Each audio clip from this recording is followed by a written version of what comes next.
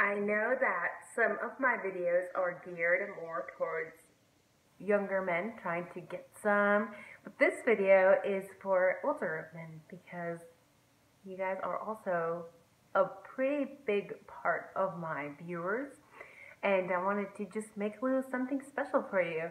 So I know that a lot of my older viewers are really interested in wanting some tips on how to find women who are wife material. And to clear it all up first, okay, a woman can be wife material and she can be play material. It kind of depends on her. And I feel like the majority of American women, and I'm saying American women because if you're in, you know, in the Middle East, their beliefs and their rules, for example, like premarital sex is like illegal. Like I think, I think you can go to prison in some of the countries over there. So I'm, I'm speaking um, on American women.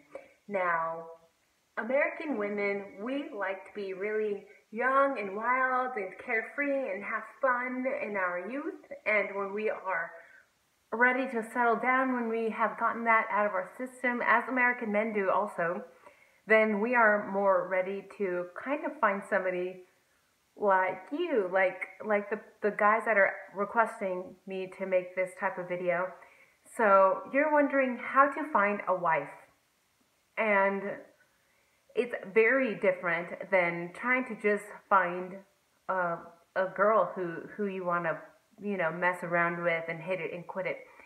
So for older men, I suggest you do basically the exact opposite of what I tell the young men to do.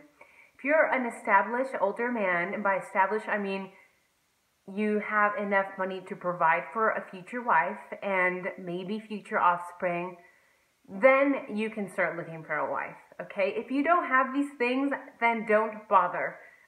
I'm serious, don't bother. I feel like a lot of men have lowered their standards, and a lot of men say, well, women should help too. And it's like, just because a woman can work doesn't mean she should and doesn't mean she should be expected to pay the bills.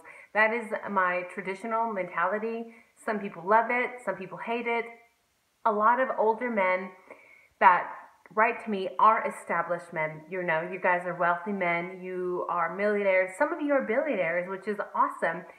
I feel like the established men that are looking for wives, you already know that's why you are an older man, first of all. A lot of the, the men that are talking to me right now are, you know, 40, 50, 60. I have a 60, I think he was the 68 year old who got a hold of me. He's established. He said he didn't want children when he was younger. He thought about having children and he wanted children, but he decided not to, you know, because he knows that to be able to have a wife and a family, he needs to be able to first provide so now that he's established, now that he's got his, you know, $2 billion business, um, he's able to, to pick a wife. And now he's ready. And now he's done playing games and sleeping around. He wants a wife and maybe even children. So what to do? What to do? Well, you should stay away from bars and you should stay away from clubs. Those women don't want anything serious they may they may be interested in you if you tell them how much money you have, but even then, young women don't care. You know, young women want to just have fun, sleep around, and see where life takes them. Very spontaneous. You should go to places where women have already done that. If you're going to bars and clubs, you're going to find young women that want to have fun and they are not on the same wavelength as you you as an established wealthy man, especially the, the guy that told me, you know, he runs a $2 billion industry, and you want a wife, then stop going there. Okay? You keep telling me that you're going to bars and clubs and you keep finding trash, basically, is, is what you call them. And I don't think that women or men that have, you know, a lot of sexual experience are trash. I think they're just young because that's what American young people do. Now, you want a classy woman. So I suggest to you that you go to high end shopping centers, So I know from where I live, maybe about 45 minutes away is this gorgeous, gorgeous shopping center. And I've met a lot of famous people there. I've met a lot of basketball players. I've met a lot of, you know, ex um, NFL players. I've met a lot of politicians. I've met a lot of authors in that area. I've met a lot of people with, you know, um, million dollar law firms and such and such.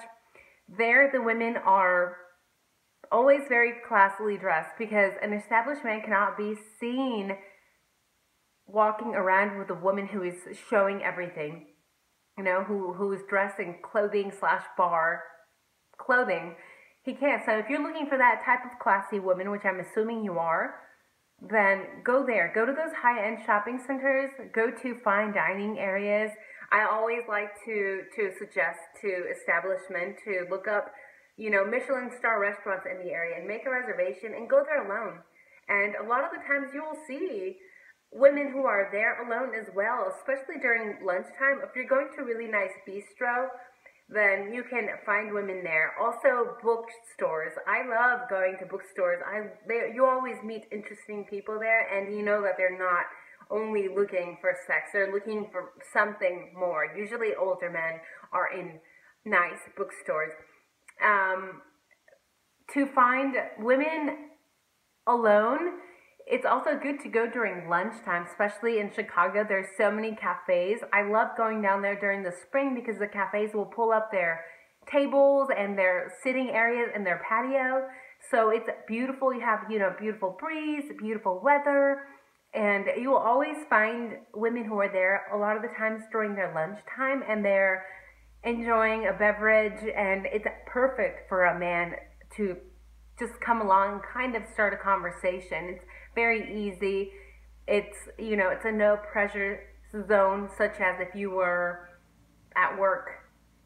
So, cafes, high end shopping centers, sometimes even country clubs. If you join a nice country club, there's a lot of um, young women still, but just classier women or wife material. I like going to country clubs because there's always just this air of just everyone is so so classy and it's such a good vibe that you get from everybody. And the majority of men that are there are there to look for young women. And the young women that are there are usually there to look for an established older man who is willing to protect and provide. So you want a wife, stop making the mistakes that you're you know you're currently making. Stop going to bars.